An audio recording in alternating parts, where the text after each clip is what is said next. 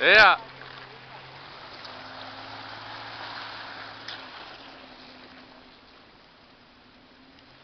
No, que ya no se recorre.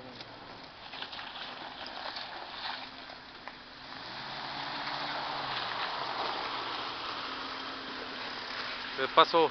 Guarraza.